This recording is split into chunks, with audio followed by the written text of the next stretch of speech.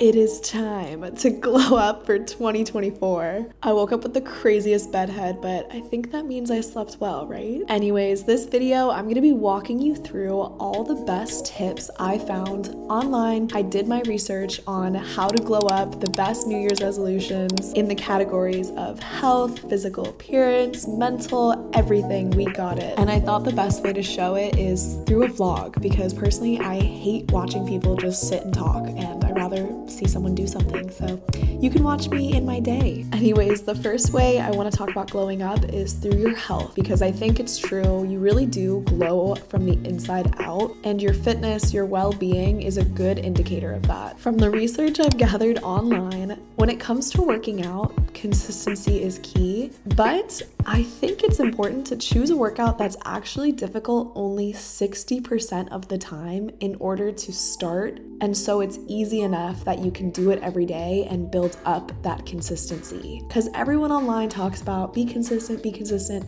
but how do you actually do that? And I think when you start off with something that is doable but a little bit challenging, it allows you to show up every day. And from there, you can build on and add more difficult workouts or extend the time. So, for example, when I was really new to my fitness journey, I would only work out like half an hour a day. It was during COVID, so I would do like a 30 minute YouTube video workout or I'd go to the gym for 30 minutes. And I made it hard enough that obviously I was progressing in my strength, but it was easy enough that I didn't experience burnout. I also don't believe you need to work out every day in order to see progress but more so this concept of making it just 60% difficult enough will make sure that you show up, if not tomorrow, then the next day. And the reason I mentioned working out first in talking about glowing up is because it's about building confidence, not just about your appearance. Because when you feel confident in your abilities and your lifestyle, you won't just let the wrong people come into your life and you'll feel pretty secure with yourself. It's like that little quote of if you chase butterflies, they're gonna fly away, but if you build a beautiful garden, the right ones will come to you.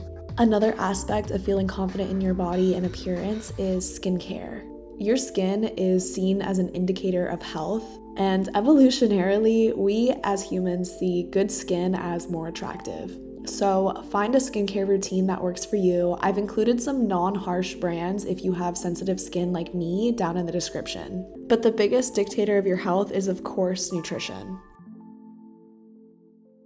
Switching up your hair a little is like a fun way to feel more confident. So I'm gonna go get my hair done with David in Santa Barbara. I'm gonna link him here. Wow, it's so sunny.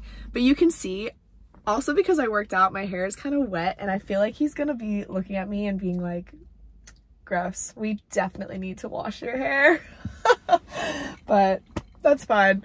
I also brought myself a cold brew in a jar that was originally like with juice from Lazy Acres. Reduce, reuse, recycle. I'll always reuse like glass bottles especially, but even when I buy like a bottle of water, I'll reuse it even like five times, which sounds gross, but I just feel wasteful just like buying a plastic bottle and throwing it away. So I don't know why I threw that in there.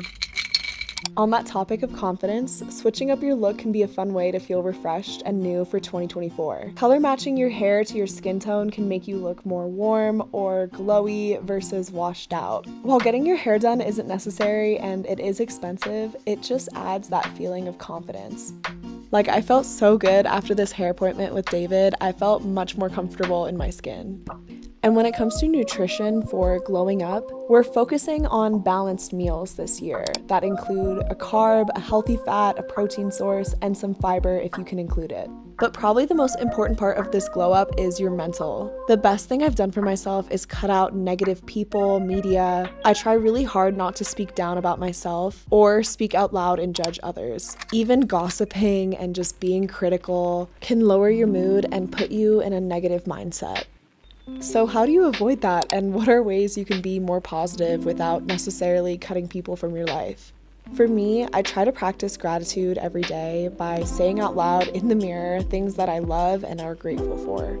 Also, as I'm talking, I'm realizing I'm doing a bit of a nighttime self care glow up routine. I'm putting in white strips to whiten my teeth. I also have an eye mask on, and then I'm putting on this like sleepy time lotion that has magnesium in it and also smells so good. Sometimes pampering myself like this just affirms that I take really good care of myself. Also, something I love doing before going to bed is drinking an herbal tea and spraying some of this magnesium sleepy time mist over my pillow, and I swear I just knock out. Also, as a bonus to this vlog, the next day I went to Las Vegas for New Year's Eve and I thought I would take you with me.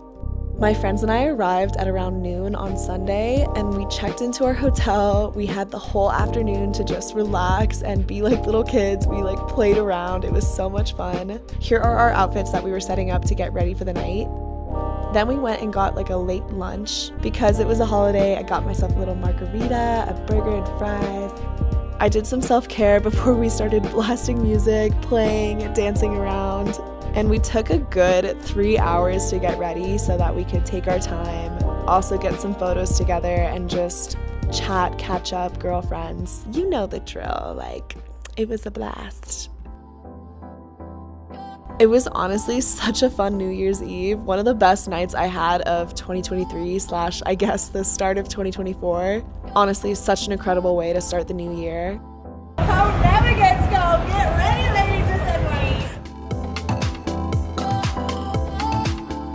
Swear, I feel like I'm like, are we well? I feel more sober now that it's cold out. it's like a cold shower. Yeah. And I'm hopeful to share more memories like this with you guys. So thank you so much for watching, and I hope to see you in the next video.